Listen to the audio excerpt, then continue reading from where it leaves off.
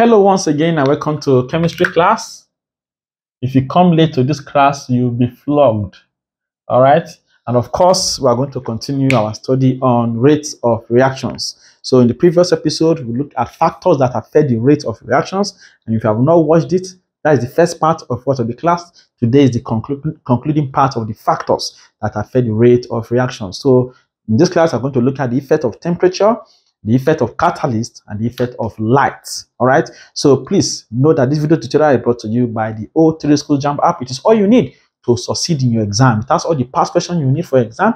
And of course, wonderful features, even lecture notes. All right. And on the app, through the classroom feature, we have an AI powered tutor that what guides you as you try to decipher answer to questions. And also, there are lecture notes in the classroom feature wonderful for all subjects. Yeah? Then of course uh, we have uh, the question search feature where we can search for question by topic and then you'll be able to see question that JAMB set under a particular topic. You'll be able to answer them to gain more confidence also, the UTME challenge. The challenge is conducted for all students writing JAMB for this year. So you participate with your fellow JAMBites, you win prizes. And of course, we we'll do this challenge every Saturday till one week to your JAMB exam. That means every Saturday you partake in a mock JAMB exam, and then what? You compete with other people. You will see your score at the end of the at the end of the uh, competition, and then of course you're able to what to to see how JAMB sets its question, able to build your confidence in preparation for the main JAMB exam. Please download this app immediately, activate it, and start using it immediately. It is all you need. Trust me when I say so. All right, in case you want to activate, just send a message on WhatsApp on this number 09121 5152 four six. Okay?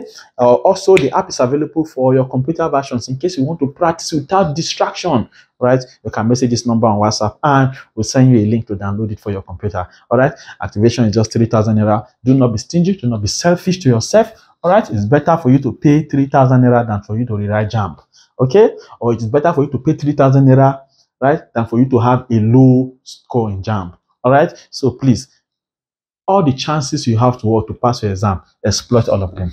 Okay, so now that is that. Let's go to factors that affect the rate of reactions. And of course, we're looking at uh, the second part, the concluding part. One, I'm going to look at effects of temperature. Okay, so effect of temperature. So in the previous episode, we're trying to throw some hints, right, about temperature. And of course, know that at high temperatures, at high temperatures, we're discussing factors that affect rate of reactions, please. So at high what temperatures, what happens? You see that what molecules in a reaction acquire what kinetic energy. They begin to acquire kinetic energy. They acquire kinetic, the one we call Ke, right? So at high temperature, high temperature, at high temperature, right? Molecules in a reaction acquire kinetic what energy. And because they have acquired kinetic energy, we know what kinetic energy is. Kinetic energy is the energy that is possessed by a body due to what? Motion. Right? So now, because those particles, those molecules in that reactions have acquired what kinetic energy, that means that what they will move faster. The molecules will move faster. That means what? They will move faster. One, move faster. That is one. Then again, it also means that they will collide. They'll collide more frequently. They will collide more what frequently. And let me tell you one thing. Before reactants become products, right? There's a, there's something we call activation energy. It is that energy. It is that it is it, it is the smallest what is the it is smallest amount of energy that must be what that must be reached right before what a chemical reaction can what can take place. But I'm going to talk about it in the next uh, the next topic we start talking about electrolysis. I'm going to talk about what uh, or chemical energetics. I'm going to talk about what activation energy. But just know that before reaction reactant become product, they must first of all what overcome what a barrier. They must first of all what reach what that activation what energy.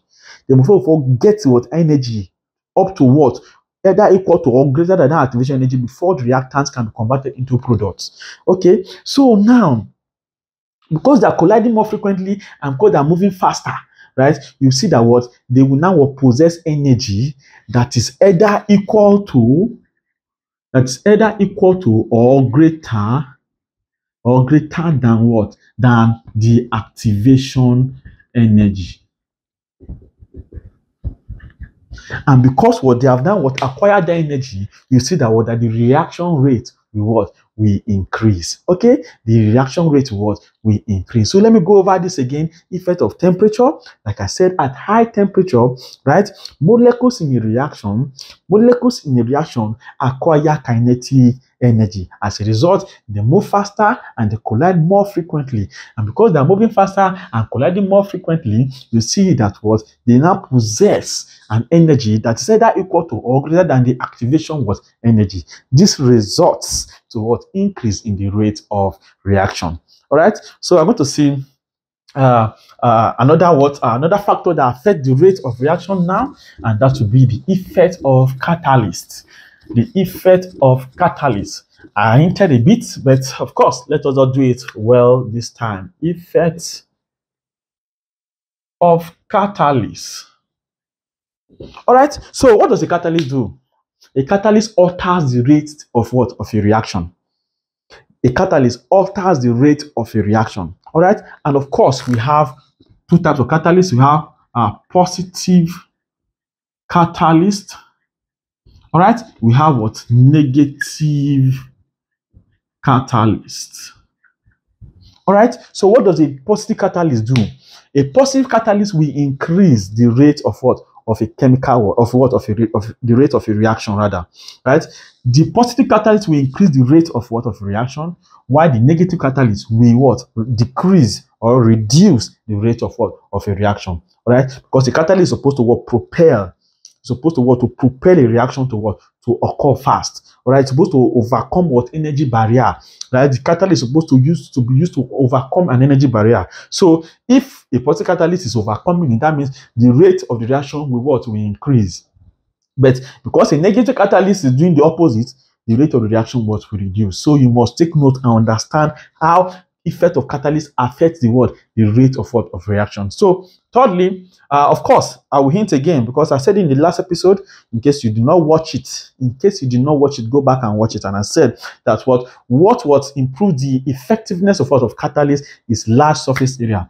Large surface area improves what the effectiveness of what of catalyst. Large surface area. All right? So Take note of that. So now the, the, the greater the surface area, right, the greater the rate of what? Of what? Of a reaction, right? The greater the surface area of the catalyst, rather, the larger or the greater the surface area of the catalyst, the greater the rate of what? Of the reaction. Also put that as a pointer at the back of your mind. Then thirdly, when I talk about the effect of light, which is the last one, thirdly, talk about what? Effect of light. All right, light can influence the rate of what of reactions. Light can influence the rate of what of chemical reaction, and these reactions that, that can be influenced by light are called photochemical reactions. And if you have been following our episode, episode by episode, if you are a devoted student of O3 school, if you are an O3 schoolite, right, you should know that we have dealt what with photochemical reactions. When we talked about types of reactions, we dedicated a full episode to what? To photochemical reactions. So we listed a whole number of what of photochemical reactions there, examples, right? So examples of photochemical reaction, of course, would be one reaction between methane and chlorine. All right, reaction between what? Methane and chlorine is a what?